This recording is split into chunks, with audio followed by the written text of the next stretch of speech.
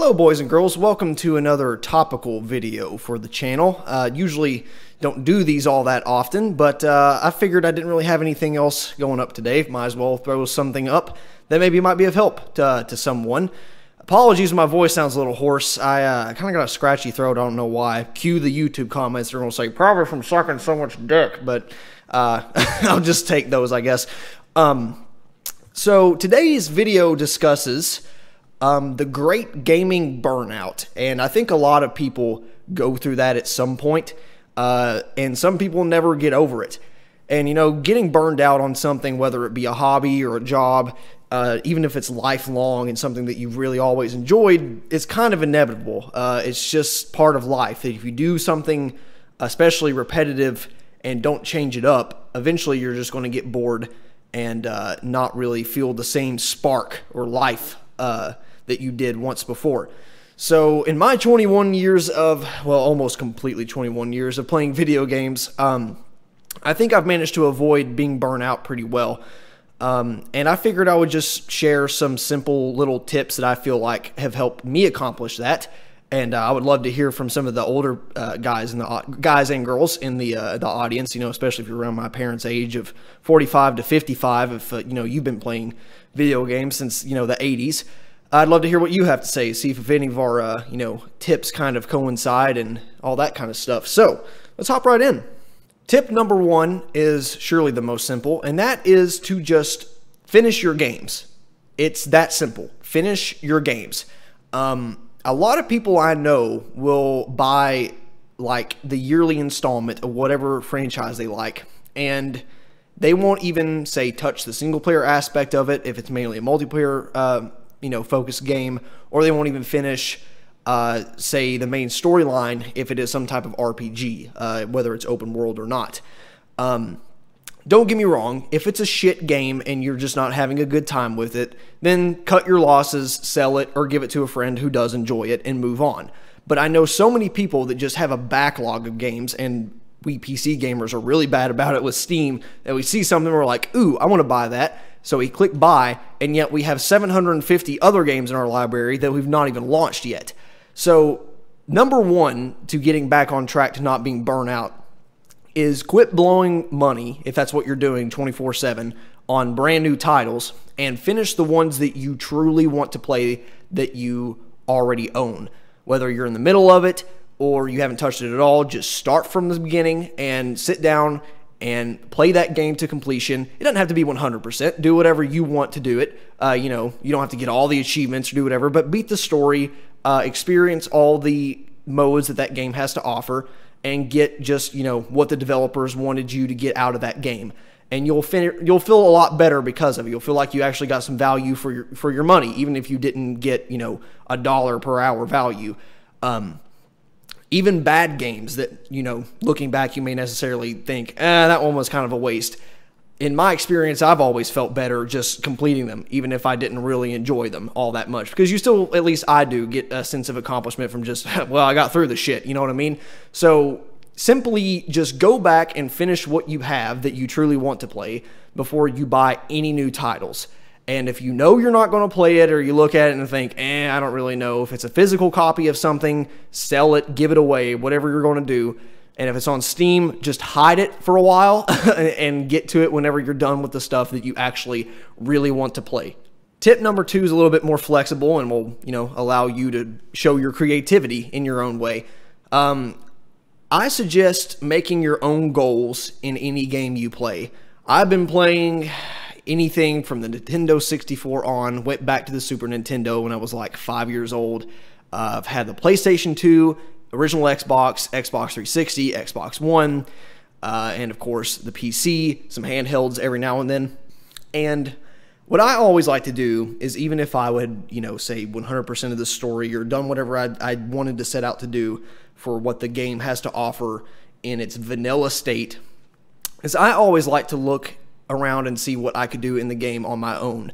Uh, set my own goals to either, you know, it can be as simple as I want to unlock a certain skin or some type of attachment in this multiplayer shooter, or it can be something as complex as I want to get all achievements, have every piece of clothing, have every weapon, everything in The Witcher. It doesn't matter. What it can be as big or as small as you want it to be, but for me, setting goals that are outside of what the game scripts is always really rewarding to me because I feel like I'm playing my, you know, I'm playing the game my way and uh, it especially helps when the game is more sandbox oriented. It lets you do what you want. You know, for me, it's always been more fun in open world RPGs to do my own random stuff, and a lot of people feel the same way. I, I have a feeling.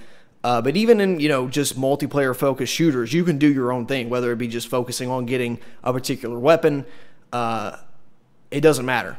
But even in multiplayer only shooters, you can you know focus on unlocking a particular weapon or getting a certain commendation or whatever you want to do, or just think, I want to do this ridiculous kill streak uh, and just go for that. If you have something to look forward to, if you have something that you're striving to achieve, even if you don't necessarily 100% achieve that, you have a goal and you're more driven and focused while playing, and that makes it so much more immersive in uh, in my experience. So no matter how big or how small, just set a goal, go out, try to do it, and um, you'll probably have a better time because of it. Tip number three is also a little bit about personal preference. I recommend that no matter what you're playing, if you think you've played everything, you haven't, try to expand your genre a little bit. Come outside of your, you know, comfort zone. Um, I know so many people that, like I said earlier, just buy the yearly installment of X, Y, and Z game. Um, one person in particular I, I knew throughout high school would buy the yearly Call of Duty, the yearly Assassin's Creed, and the yearly FIFA. Now, these aren't games that are known to be extremely innovative. Comparing, you know, the 2015 installment to the 2010 installment is like comparing night and day, obviously. But when you buy only those games in succession and you play the one installment back to back to back, it feels like they're not going anywhere. Feels like you're playing the same game over and over. Naturally, he got burnt out of video games because he was playing one shooter, one, you know, kind of generic open world RPG and one sports game every year. That's all he was playing. If you just step outside of whatever cycle you have yourself in or whatever genre that you, you know, especially I know some people that just play straight shooters or some people that don't play any multiplayer games or whatever it is. Just step back and look around and see if you can't find something that looks interesting outside of that genre. Um, just spring for it. If you've never played a real time strategy game, just try to find one for cheap.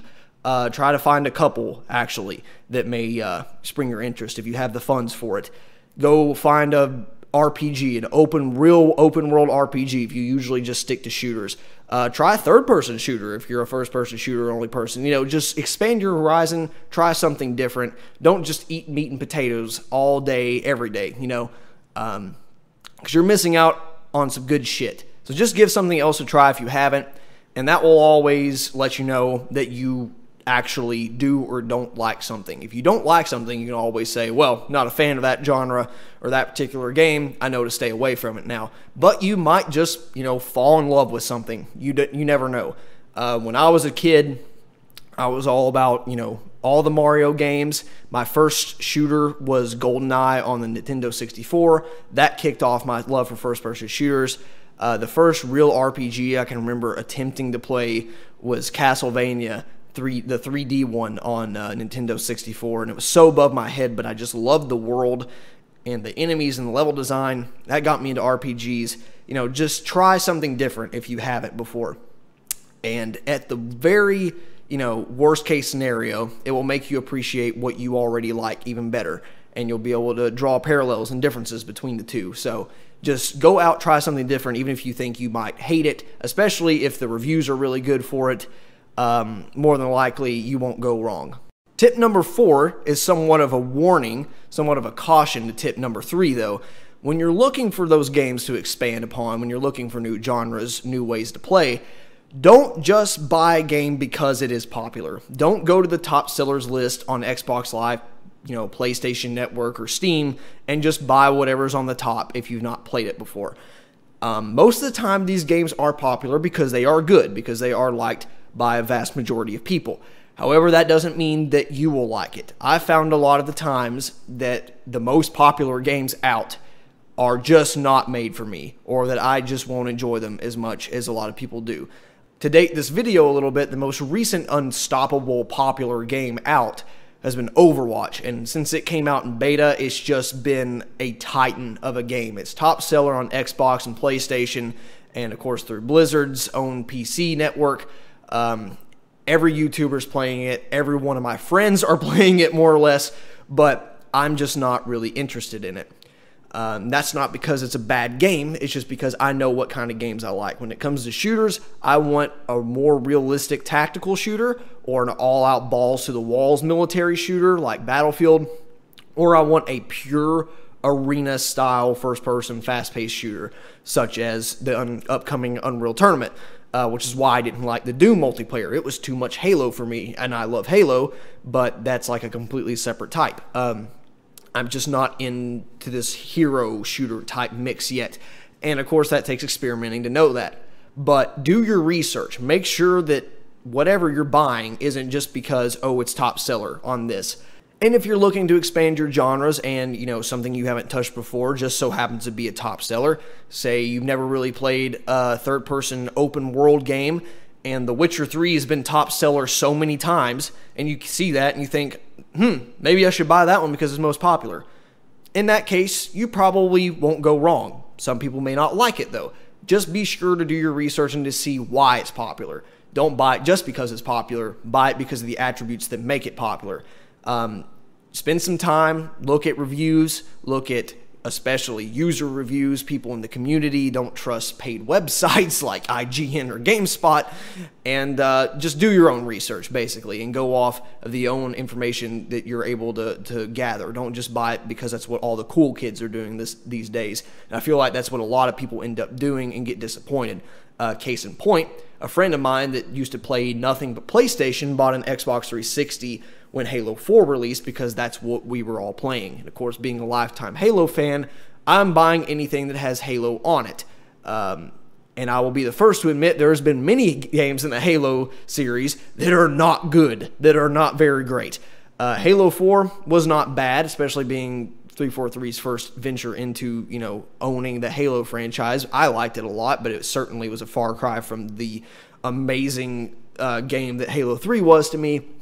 But my friend spends, you know, close to what was it, 350 $400 at the time on these on the new console and game uh, bundle and you know plays it for a few hours maybe 10 12 with all of us and basically never touches it again. And why did he buy it? Because it was like the top selling pre-order for that year. But that's not really a reason to buy it. You should especially when upgrading or not upgrading but investing into a new system make sure it's what you want out of it, not just because that's what all the, you know, quote unquote cool kids are playing these days.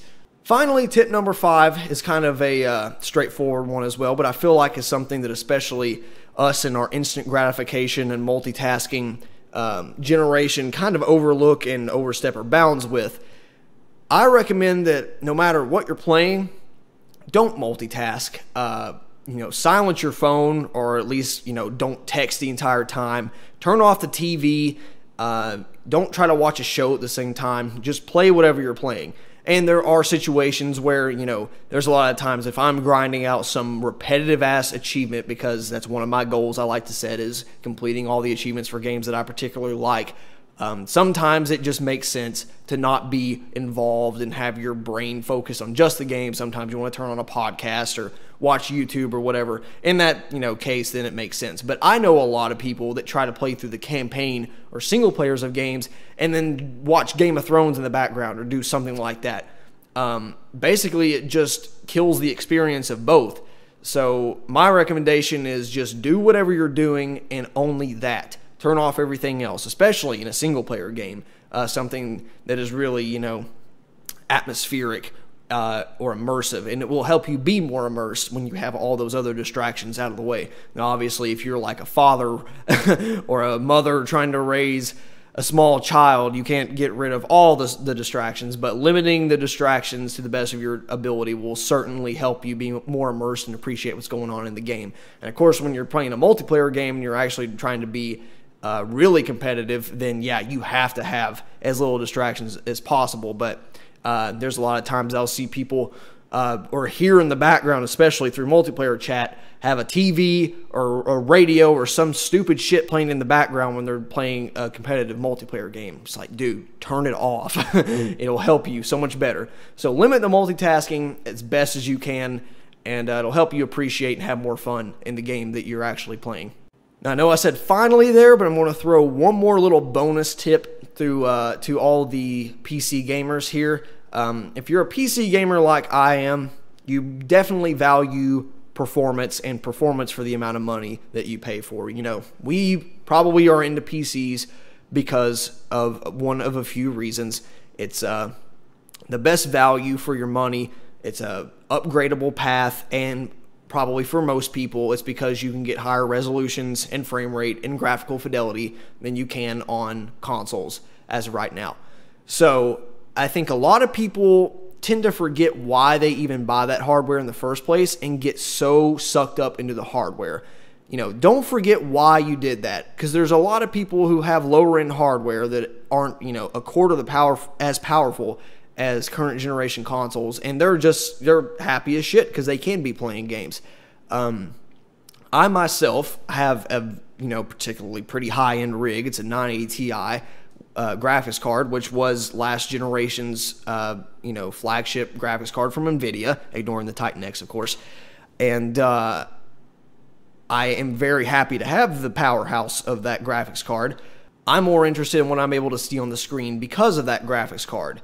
Uh, I'm more interested in being able to play those certain games that I otherwise wouldn't be able to run, or at least run at that fidelity and that frame rate and that resolution. Um, don't get me wrong, I'm as big of a nerd as a lot of people are when it comes to, you know, getting a nerd boner when you see, oh my god, 12 gigs of DDR5 or oh, we're getting HBM2 next time and the core clock's almost 2000 megahertz. I mean, it's, it's cool. Technology, I, I love that kind of shit. But a lot of people turn that into a pissing contest more so than just, hey, that was a good game, wasn't it? And uh, people forget forget what it's all about. And you know, there are some people that just like cars will build a fucking monster PC just to say they have one or just to be able to crank out benchmark scores. And that's fine. If that's what you want to do, that's great.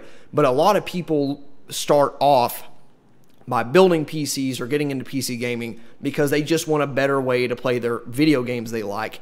And then in a year and a half or two years, they completely forget about that aspect and it's just about, oh, I gotta upgrade, I gotta upgrade. You know, take a step back and realize that you probably have a pretty advanced piece of technology sitting in front of you, and that if, you know, it's running shit at a pretty satisfactorily rate, then you could probably enjoy the game no matter what. And if it's not, spend a few hundred bucks later on if you could save up for that, and it'll run it really satisfactorily. So just remember why we did it in the first place. It's just it's to enjoy video games, and that's what everyone should do, no matter what you're playing on. Just remember, enjoy the damn game. so in a simple recap, my five biggest tips for not getting burned out, or if you already are a little burned out on video gaming and want to try to ease yourself back into it, is that number one, complete the games you already own. Number two, set your own goals in games that allow you to do so. Number three, expand on the genres that you're currently playing. Number four, not buying video games just because they're the top seller, they're the most popular, but doing our own research to see why they are popular. Number five, not multitasking, or at least limiting it to as little as possible when you're playing video games, so that way you're more immersed. And for us PC gamers out there, remembering that it's more important about what you're seeing on screen, the experiences you're getting in game, than the, what is actually in your computer rig. Remember what PCMR always says it's not the hardware in your rig, it's the software in your heart.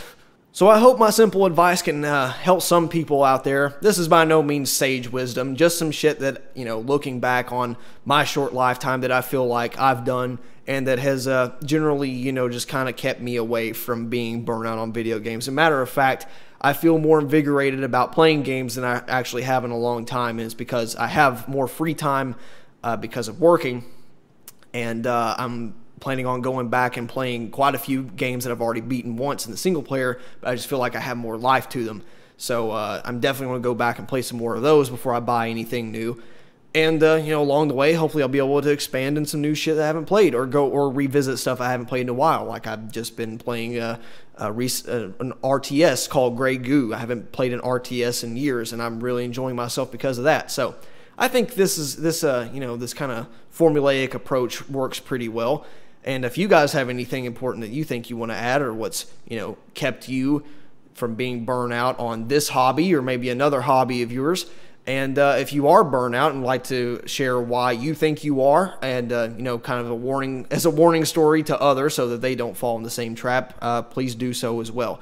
So uh, thank you guys. This is kind of a, like I said, an offshoot of what uh, we would normally record, and definitely a different type of topical videos. Most of the other ones are very um, time sensitive. This one hopefully will hold its ground and help out a lot of people. Uh, maybe we'll see.